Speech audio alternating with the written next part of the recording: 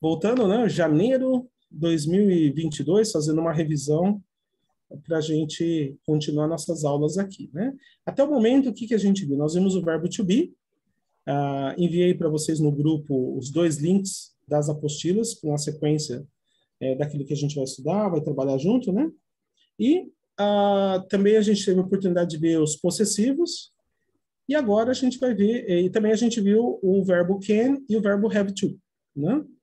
É, porém, nessa revisão nossa aqui, e a proposta que eu estou fazendo né, para a gente com as apostilas, e aí eu, eu, eu pediria né, para vocês é, imprimirem, é justamente pelo fato de que a, a, você tem ali um material para seguir, ele tem uma sequência, e ao mesmo tempo vai te dar a oportunidade de, é, de tomar notas e tudo mais, né? É, a princípio, quando a gente fala do, do verbo to be, que foi o primeiro que a gente viu, essa é uma revisão de hoje, é, a gente viu ali né, okay, o presente simples do verbo to be, e quando, toda vez que você vai fazer uma revisão, você tem que pensar na afirmativa, na negativa e nas perguntas. Quando você pega o presente contínuo, você vai pensar também em quê? Na afirmativa, na negativa e nas perguntas. Você pega o simple present para os outros verbos, né, que é aquele da tabela de verbos irregulares. Aí eu sempre peço, né, vai fazer, vai tá, tá com a tabela de verbos irregulares, tenha ela em mãos, tenha ela impressa, né? Que é isso aqui, ó, irregular, irregular verbs. Tá aqui a tabela. Eu vou deixar para vocês o link. Né? E sempre tem uma cópia. Essa cópia, assim, eu falo, não faça uma cópia, faça duas, três cópias, né? Aqui com o código QR, você pode, inclusive, é, chegar né, é, e baixar diretamente também a tabela no seu computador. Então, você vai fazer o presente simples com aqueles verbos ali, o que, que você vai precisar? Você vai precisar fazer a afirmativa, a negativa e as perguntas. Então, essa parte é importante. Depois a gente vai entrar mais à frente no passado simples do verbo to be, no passado contínuo e no passado simples dos outros verbos. Então, isso é só mostrando qual que vai ser a sequência da, das nossas próximas aulas nesse semestre, né? É, e a gente faz aqui, né, uma... Olha só, na, quando a gente chegar na lição 21 da apostila nova que eu passei para vocês, essa lição, da lição 21 até a, a, a lição 40 é uma revisão. E a gente vai acrescentar também o futuro simples e verbos modais. Ah, Rosi, o que, são os verbos modais? Olha aqui em cima, a gente já teve uma introdução a, dois deles. Né? No caso, um verbo deles e outro que é companheirinho, né? embora não seja um verbo modal, que é o, o verbo have to, né? mas ele denota obrigação. Né? E o can está aqui. Aqui, no caso, a gente vai decifrar todos os outros verbos modais. Vamos voltar, então, no início, né? que é o verbo to be, o simple, simple present. Né? O que, que é o simple present? O que, que eu posso fazer com o verbo to be? O verbo to be é bem versátil. O verbo to be vai permitir você a, a, fazer, a falar, né, sobre ser, estar, é, se apresentar, falar de sua idade, falar de sua profissão, seu estado é, seu estado mental ou físico, né? Olha que versatilidade. Um único verbo, você vai fazer um passeio praticamente se apresentando, só com o verbo to be. Né? Então, por exemplo, aqui, ó, ser. I am. I am. É, estar, que é o estou, né? I am. Se apresentar. I am Roosevelt.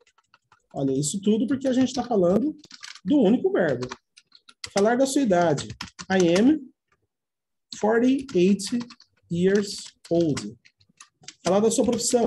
I am a teacher. Seu estado físico, né, ou mental.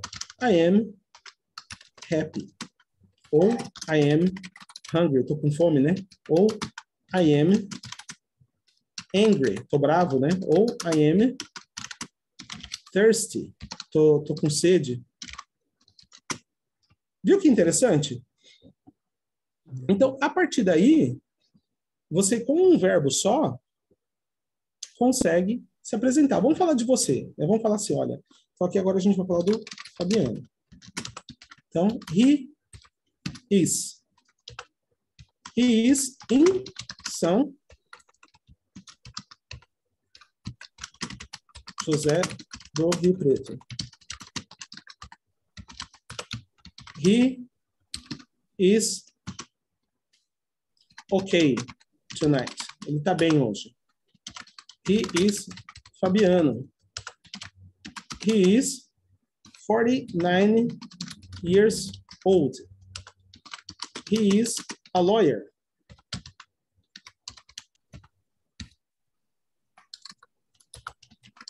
He is happy. Você está feliz, né? Uhum. Mas você coloca aquilo que você quiser.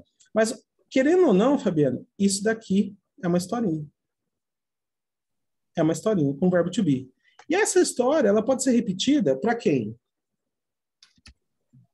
I am, he is, pode ser para ela, she is, pode ser para um animal doméstico, it is, pode ser diretamente para a pessoa na segunda pessoa, né? You are, pode ser a segunda pessoa no plural, you are, é a mesma coisa, né? Pode ser para a terceira pessoa, é, para a primeira pessoa do plural, we are, e a terceira pessoa do plural, they are. Tá? Então, aí depende o que você quer escrever. Depende do que você quer escrever. Essa é uma parte muito legal. Ô, Rússio, pô, mas você falou da negativa. E a negativa, como é que fica? Vamos lá, ué. Opa, aqui, ó, só copiar aqui, né? E vamos colocar aqui. Significa la lawyer? Lawyer é, é a sua profissão. Aquela que você se formou. Lawyer. Ah. Advogado. He's a lawyer. Ok? Aqui embaixo vamos fazer negativo, então. Olha só como fica negativo. Pode ir interrompendo, por favor, viu? A negativa é. aqui. Olha que difícil. I am not. Eu não sou. Eu não estou. o, o is é verbo to be, então? Is. É, exata, exatamente. O is é o verbo to be. Negativo do verbo to be. Né? Olha só, que é o quê? Ser estar, né? Ser ou estar. Aí a gente tem aqui, olha, he is not, né? Ele não é, ele não está. She is. Ela não é, ela não está. It is. Usado para animais, objetos, né? Aí vai ficar ele não é, ela não é, ele não está, ela não está, né? Você tem you are. You are vai ser você não é, você não está. You are no plural, né? É, eu só coloquei maiúsculo, mas não tem diferença, né? Vocês não são. Perdão, aqui, ó. Faltou colocar o not, né, nessa turma, né? It is not. You are not. You are not. We are not. They are not, né? Agora tá correto. É porque aqui em cima estava na afirmativa, né? Aqui, ó. Uhum. Afirmativa. Aqui embaixo na negativa. Então, eu tenho aqui, por exemplo, you are not, né? Vocês não são. Vocês não estão.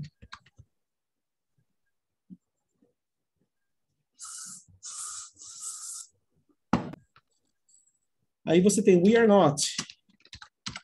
Nós não somos, nós não estamos. E they are not, eles não são, elas não estão. É a terceira pessoa. Esse é o ponto que a gente né, começa contando uma história. O mais fácil, antes de você contar a história dos outros, é mais fácil você contar a sua história. né? Aqui eu falei, por exemplo, né, de você. Você, ah, Rússio, vamos fazer umas correções aí, né? Vamos mudar isso aqui, olha, eu não estou em Rio Preto, hoje eu estou em Marília, né? Hoje eu não estou bem, né? Olha lá, he is not okay tonight, né?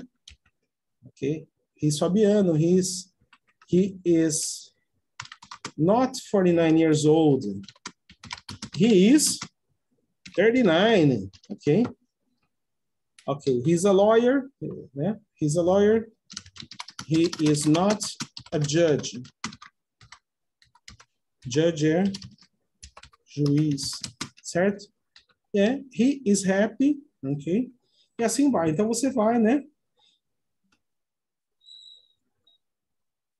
Muito bom, né?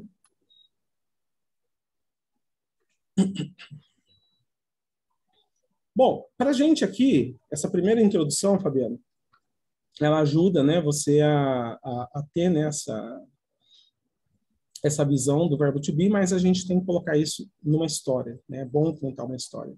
É bom você sempre colocar isso em prática. Nos exercícios das apostilas que eu passei, ele tem algumas opções que são interessantes. Não só para você fazer essa, contar essa história, mas também para você é, utilizar o dicionário. E qual que é o dicionário que eu gosto e que recomendo? É o Lingui. Tá? Então, o Lingui, é, não fazendo merchan, né, porque a gente não tem patrocínio deles, mas o, o Lingui ele é a, a ferramenta que eu considero importante, já que ele é contextual, ele mostra as palavras traduzidas em qual contexto são utilizadas, tá? Então, para isso, né, eu já vou até deixar aqui, né, como dicionário recomendado, olha, dicionário. Quer baixar o aplicativo, Roosevelt? É, se você quiser. Se você quiser, né? Mas se você quiser usar diretamente pelo site, não precisa instalar nada. Então Ah, tem, tá. essa, tem, tem essa vantagem também, tá bom? Então, vamos agora fazer um, um trabalho rápido, que eu acho que é fazer pelo menos do verbo to be, é, dar uma olhada, né, que nem eu comentei aqui, aonde que a gente usa o verbo to be, né? Usamos para falar do, do, do, do- de, do- de uma pessoa ser, de uma pessoa estar, e, e isso traz uma confusão, Fabiano. Muitas pessoas fazem esse questionamento, pô, mas o verbo to be vale para as duas coisas? No português não vale. No português a gente tem o verbo ser, e separado dele a gente tem o verbo estar. Mas no inglês, o verbo para ser e estar é um verbo só. Isso para as pessoas é uma fonte de dor de cabeça. Como assim ele é as duas coisas? É, é uma língua mais simples. Ah, mas como que eu vou saber a diferença? Contexto. Contexto. Se você não tiver no contexto, você dificilmente é, vai é, é, entender o que está sendo conversado. O inglês é uma língua que é de contexto e as pessoas falam quando uma fala, a outra ouve. Não dá para falar ao mesmo tempo. Né? Aqui no Brasil, festa de família no final do ano, vai chegando pessoal, um chega com, com a vasilha de farofa, outro vai chegando com cuscuz, dali um chega com frango assado, aquela gritaria, todo mundo fala ao mesmo tempo. Não é assim que funciona no inglês. As pessoas, elas, o pessoal fala assim, né? Primeira vez que encontra um gringo, né? Nossa, esses caras são tudo educados, né? Diferente do Brasil, né? Não, não é isso. Aqui a língua dele não permite fazer aquela farofaiada toda que a gente faz, né?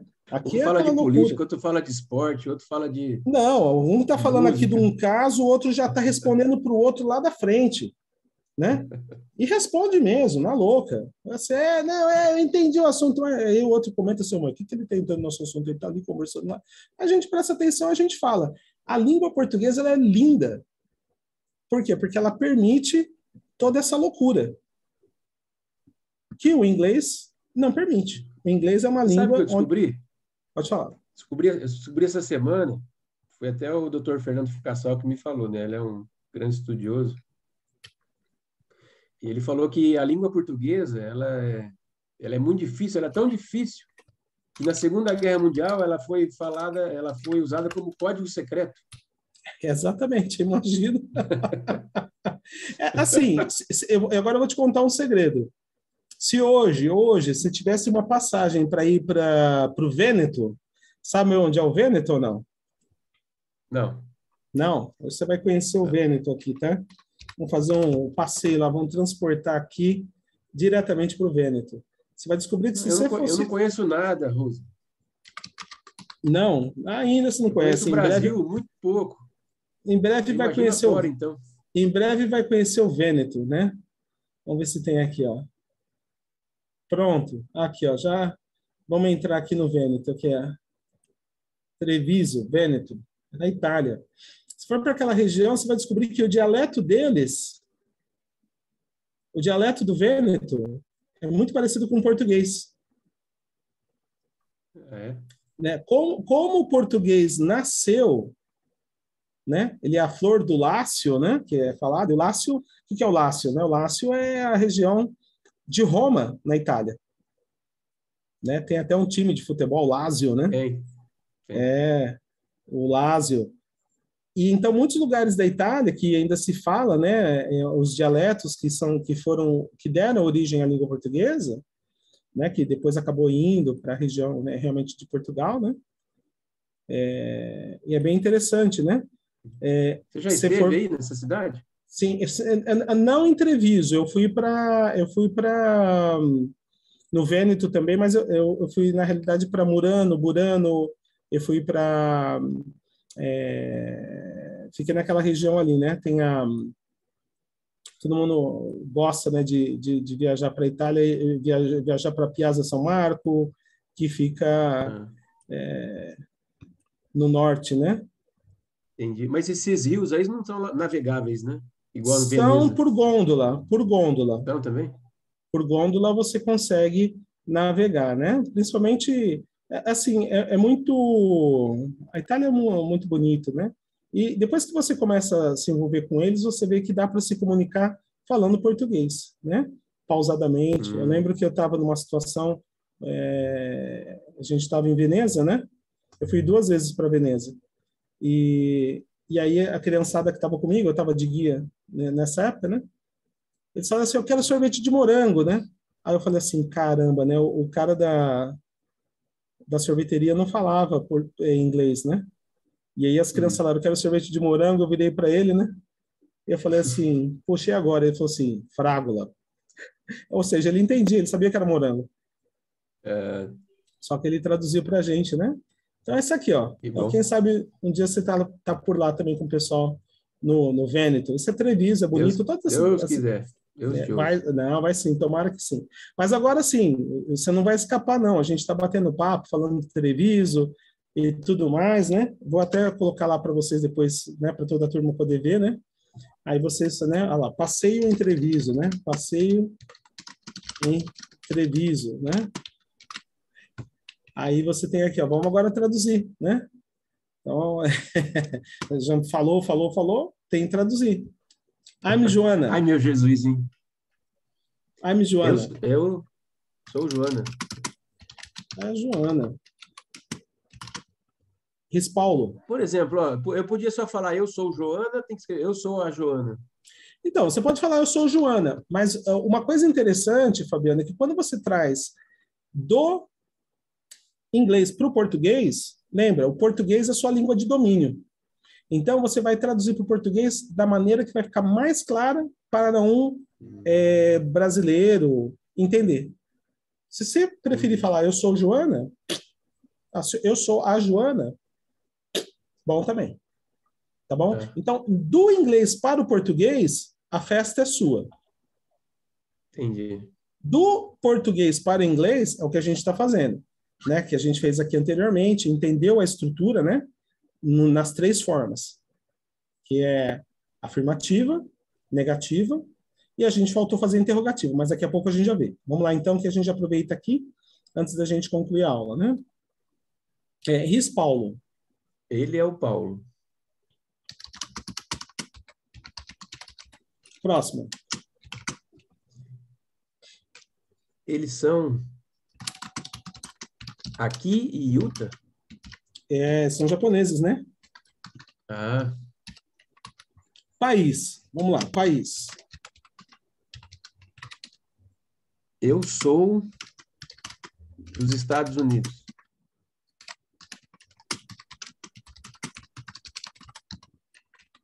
Isso. Próxima. Norte-americano. É, meu marido é da Itália. Ele é italiano. he is Italian, okay? My husband is from Italy.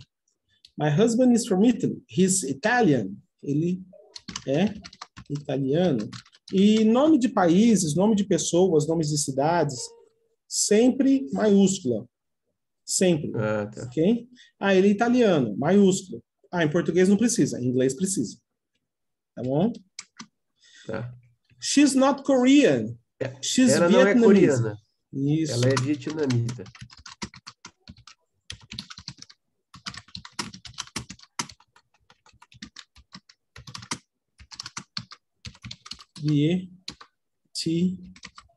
Vietnamita. Por que, que tem um apóstrofo e o S mesmo, que é no começo? É, não, não é não. Esse apóstrofo S é só uma abreviação. Você poderia colocar Ah. assim, inclusive, ó. She is not Korean. Ah, tá. She is Vietnamese. Ok? Entendi. He É, o is- mesmo, é a mesma coisa de I am aí, né? Exatamente, olha lá. I am vai ficar lá. Eu abreviei, posso tirar a abreviação. Aqui é a Tá. mesma coisa lá. E aqui they, né? They are. Ótimo. Vamos, vamos então aqui agora a pergunta. Olha a pergunta. A pergunta, se você notar, você simplesmente inverte. Você coloca o verbo antes do sujeito, mais nada. Are they from Australia?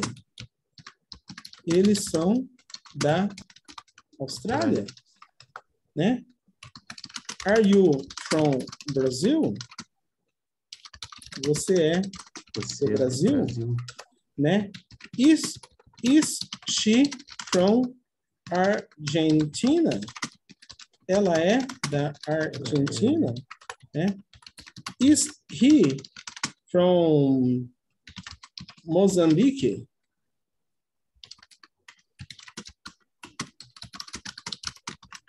Ele é do Moçambique?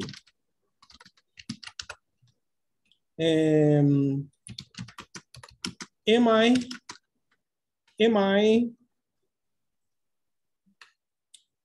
eu sou am I a student? Eu sou um estudante? Você percebeu? Então, a interrogativa é isso aqui, né? É simplesmente a inversão. Você traz o verbo, né?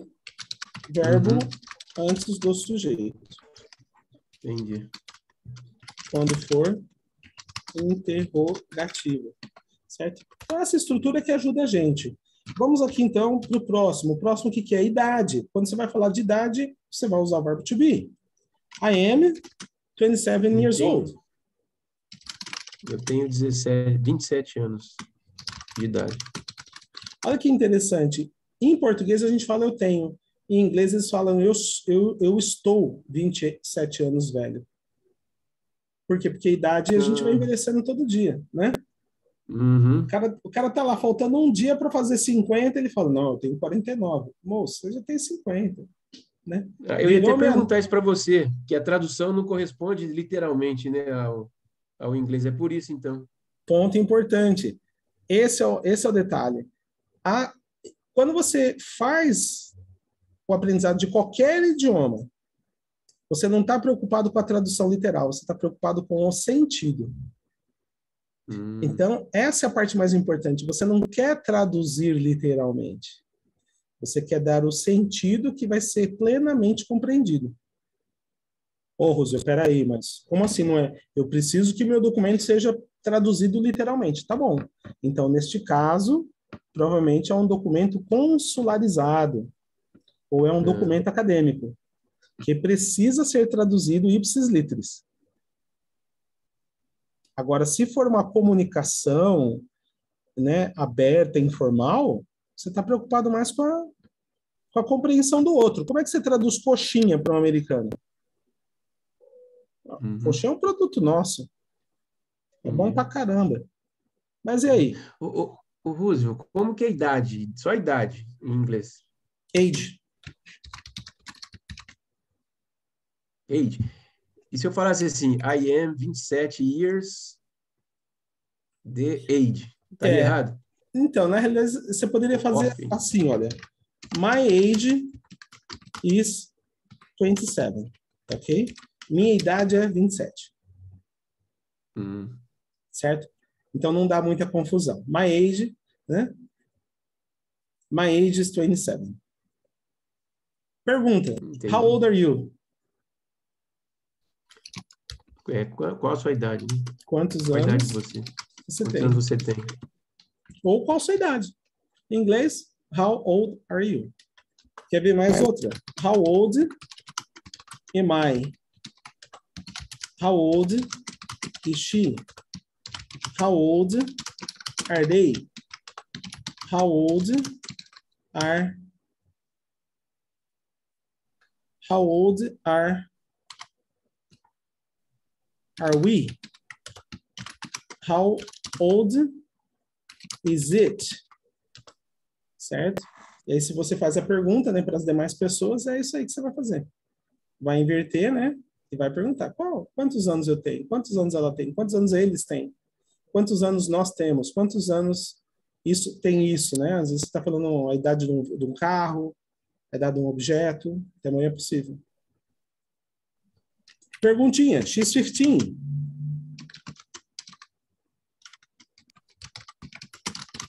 Ela tem 15 anos. My mother is 65 years old. Minha mãe tem 65 anos de idade.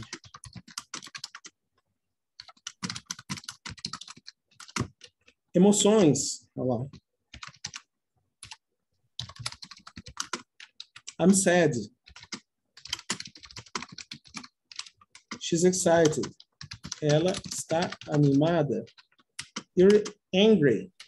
Você está bravo, nervoso, pistola, né? You're angry.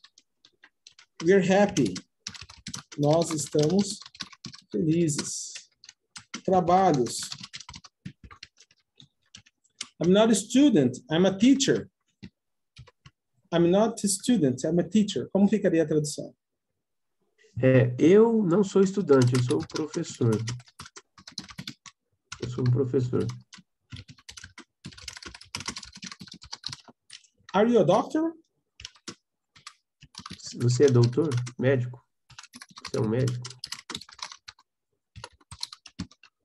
Que é, o, o doutor, né? Ele seria doutor em qualquer área, né?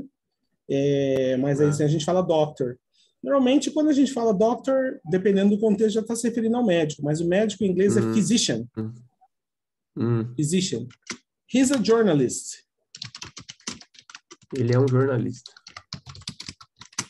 He dated artists. Eles são artistas. Aqui poderia ser eles ou elas. É tudo contexto. Né? Então, o inglês é uma língua de contexto. Né? Eu lembro de uma pessoa que me Uhum. falou assim: Poxa, Rose, eu estava no metrô em Nova York, cara, eu não conseguia entender nada do que eles falavam. Falei assim: ó, Você já entrou no metrô de São Paulo? Você entendeu que estava todo mundo falando? Não. Falei assim: Porque as conversas são distintas. Se você não está no contexto da conversa, você pode estar em qualquer lugar do mundo, você não vai entender. Né? Não é que você Uhum. estava no metrô de Nova York e não entendia as pessoas, é que você não está no contexto. Você tem que estar no contexto. Sentar com a pessoa, conversar, olhar no olho dela, entendeu? Hum, Então, assim, essa, essa preocupação com o controle de tudo não é uma, não é uma coisa sadia na, no aprendizado de idiomas. A gente tem que Uhum. contextua- con- contextualizar, você precisa daquele contexto. Quem viaja, Uhum. pensa assim, Fabiano, quem viaja, viaja com um propósito. Né? Se você fala assim, por exemplo, poxa, nunca peguei um avião para fora do Brasil. Tá bom. Você vai viajar? Vai. Se a gente viaja no Brasil, o que, que a gente faz? A gente marca a data, compra passagem, é, marca o hotel, sabe o endereço do hotel, tem um contato. Quando você vai para outro país, não é diferente. Pô, tô indo para Nova York, vou ficar onde? Você vai para Nova York, você tem que ficar no melhor lugar de, de Nova York, né? Onde é? Roosevelt Hotel. Ah! Sabia que Né? você tinha um hotel lá, não. Não, exatamente, já que é para fazer, né? Então vai ficar no Roosevelt Hotel, ficar- fica num lugar bom, né? Olha lá, né? Vamos ver aqui, ó, Maps, né? Roosevelt Hotel, né? Fica já no hotel bom de vez. Então você sabe o endereço. ó. Qual que é o, hotel- o endereço do, do Roosevelt, né? Hotel. Vamos ver aqui, ó. Rapaz, eu abri muito aqui, ó. Ele deu vários, vários hotéis com o meu nome, né? Mas a gente está uhum. indo. Cadê ele aqui?